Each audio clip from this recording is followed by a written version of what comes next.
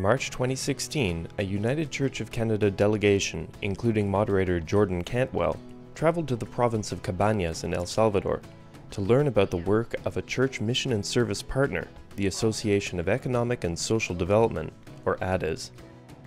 ADES is a community development organization that works on such issues as healthcare, education, microfinance, and protecting the environment. Beginning their work during the Civil War in 1987, ADES is now taking on new threats, including gang violence and the challenges presented by mining companies, hydroelectric projects, and industrial scale farming. The United Church delegation met with ADES staff and members of the local communities to hear about their struggles. Connections were made to the situation of Aboriginal peoples in Canada today. Being your North American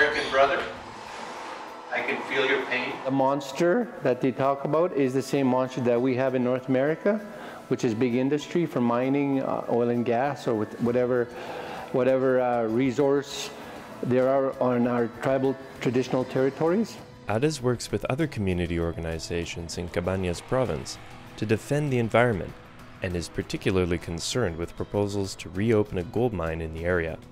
ADES staff, members of a local radio station called Radio Victoria, and other environmental rights defenders have all received death threats for their work on these issues.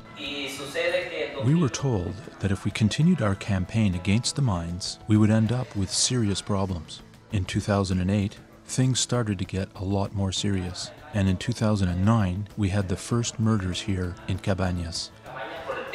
No ADES staff were killed, but four other members of the Environmental Coalition lost their lives in the work for justice. Members of the United Church delegation affirmed their solidarity and support for the work of their brothers and sisters in El Salvador, even across language barriers. We had a meeting with, with, with the whole group. First thing I taught them was dance, no damn dick, and they got it down pat. Dance, no damn dick, hello my relations, and they just loved it. Mutual learning and development and sharing of experiences and struggles brought members of the United Church of Canada and ADES into closer relationship.